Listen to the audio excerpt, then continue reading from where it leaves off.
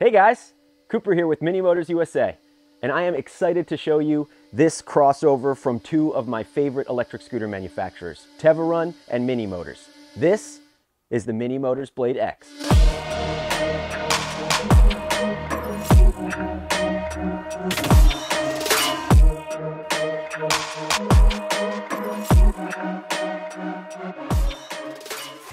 The Mini Motors Blade X has all Mini Motors components internal. That means the Mini Motors drivetrain, motors, controller, and iThrottle, and the Blade X frame. This model packs a whopping 30 amp hour 60 volt pack underneath the deck. That means real life range is just about 40 miles in a single charge riding all out.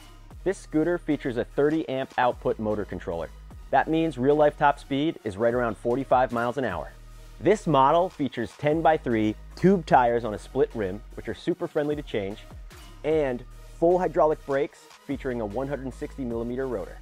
This model is a manageable 81 pounds. Its platform is about 8 wide by 21 long or 25 to the rear of the kick pad, which is comfortable for most riders. You're gonna love the ride.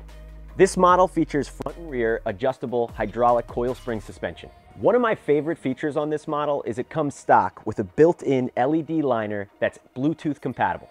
That means you get the app on your phone, you connect your music, and you can play your lights to the beat. In addition to this awesome deck, you've got great running lights down the side, a brake light, turn signals, and a super bright dedicated headlight. Moving up to the handlebars, this scooter features a voltmeter with key. Your left multi-switch is going to have horn, headlights, and turn signals and your right side is gonna have your Eco Turbo single dual switch and iThrottle. This scooter also has a pretty unique folding mechanism. It's got this dial lock, which you can tighten to get your headset rock solid, and this safety pin, which makes folding it super easy and clean. This scooter checks a ton of boxes. Good power, long range, tons of controls, and a great performance to value ratio. So there you have it, the Mini Motors Blade X. If you have any questions about it, reach out or find us at minimotorsusa.com.